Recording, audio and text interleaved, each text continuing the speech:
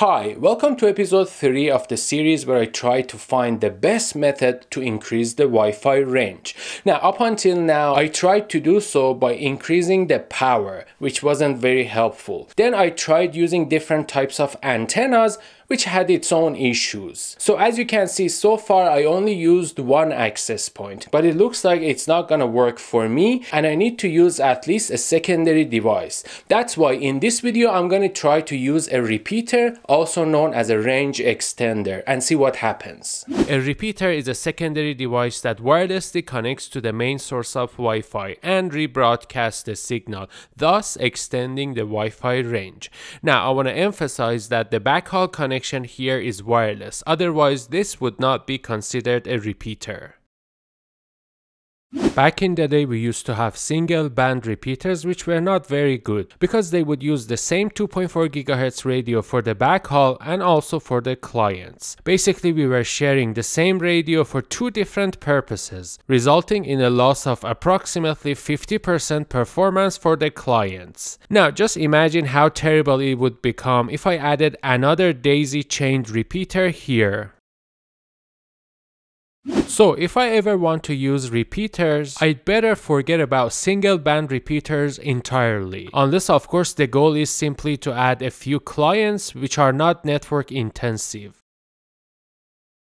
Also, I should aim to minimize the number of hops between the clients and the primary node. So if I need to have two repeaters, it is much better to connect both of them directly to the primary node rather than to each other. Later on we had dual band repeaters which were significantly better than the single band repeaters because now I had the option to use one band for the backhaul and the other one for the clients. I could still share the radio I use for the backhaul with the clients if I needed to, but as we saw in the previous example, there would be a negative effect. So it would be great if I could design the network to use one band exclusively for the clients and the other one solely for the backhaul without serving clients. Now, if I have to use one band for both backhaul and clients, it would be best to reserve it for the clients that can handle lower speeds and higher latency such as a Wi-Fi printer, and definitely not for network-intensive clients. Now, which band do you think I should choose for the backhaul?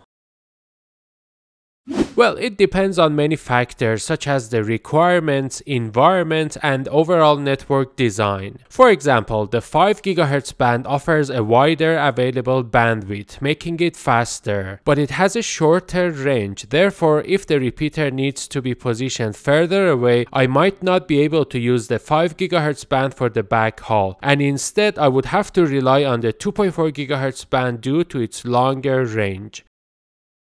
So as you can see, I have more options available here compared to the single band repeater. And depending on the situation and requirements, I can configure the repeater to best accommodate the specific scenario.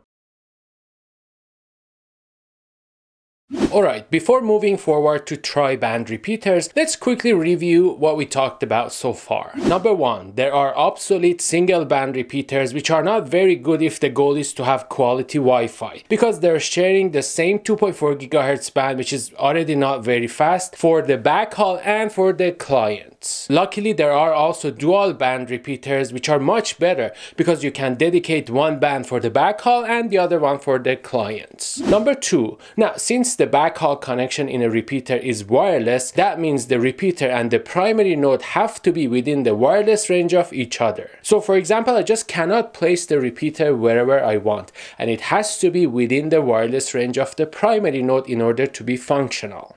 Number three, if I choose to use the same band for the backhaul and also for the repeater, not only am I sharing the same radio, which as we saw earlier will degrade the performance by something around 50%, but this will also cause co-channel interference, making the quality of the connection even worse. For example, if this is connected to the primary node on the 2.4 GHz channel 1 because the primary node is broadcasting on channel 1, then it has to rebroadcast on the same channel because it is the same radio and it cannot broadcast on a different channel, not until this backhaul connection exists.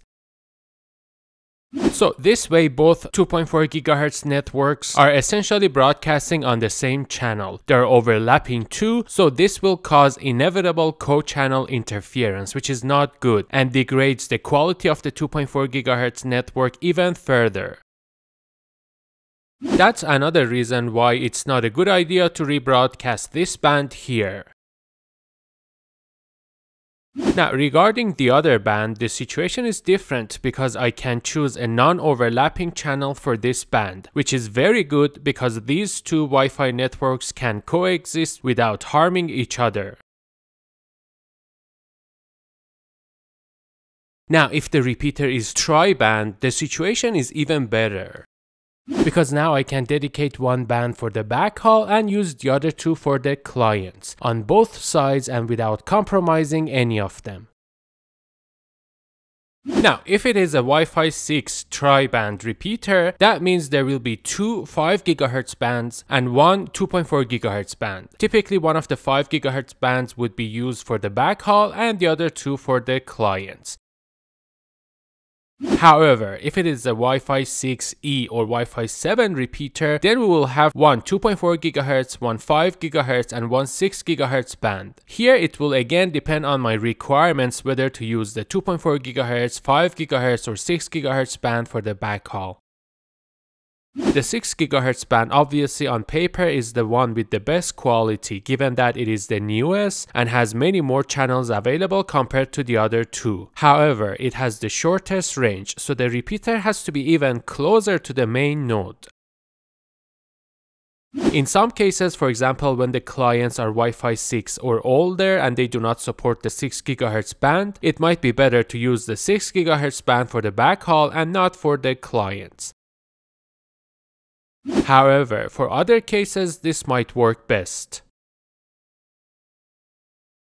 Alright, so the repeater is an interesting device because it could be good for a couple of reasons, but it could also be bad for the exact same reasons. Huh? A repeater is good because it's an easy and inexpensive solution. I mean, I don't have to make a huge change in my network. I don't need to replace every device and buy a whole new system in order to increase the range. There could be a working network, maybe a wireless router or an access point. It doesn't even matter what brand the primary node is. I can simply add a repeater to this network. Now, although setting up a repeater is relatively easy, if I do not implement basic network network design principles and not set up the repeater correctly, the quality of the repeater's Wi-Fi could be really bad.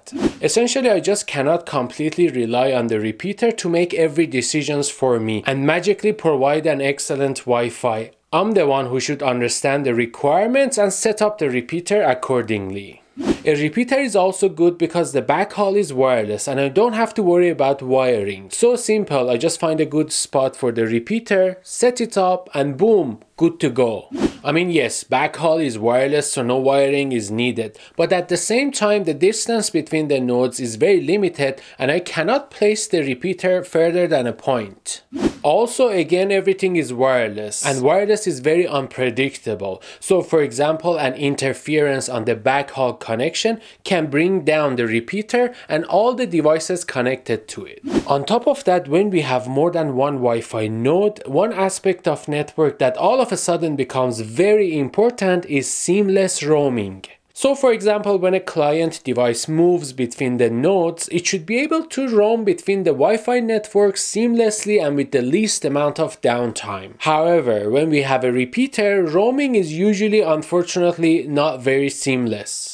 First off, the repeater and the primary node are usually not well coordinated in terms of roaming. This is because the primary node might be from one brand while the repeater is from another. So they typically do not facilitate the roaming process. As a result, the responsibility of roaming falls mainly on the client devices, determining when and how to disconnect from one network and connect to the other. Also for a seamless roaming experience, it is recommended that these two Wi-Fi networks have something around a 15 to 20% overlap.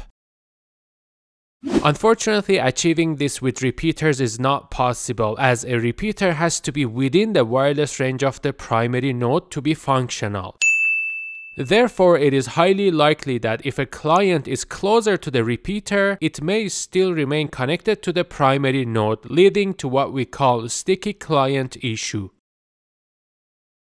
So overall, considering everything, using repeaters could be beneficial in many scenarios, but because of its disadvantages, it is definitely not the best solution. And for that reason, I want to keep looking. Thank you very much for watching this video. I hope you liked it. Give it a thumbs up if you did, share it if you think others might like it too, and subscribe to the channel if you want to see more videos like this. Thank you again, and I will see you next time.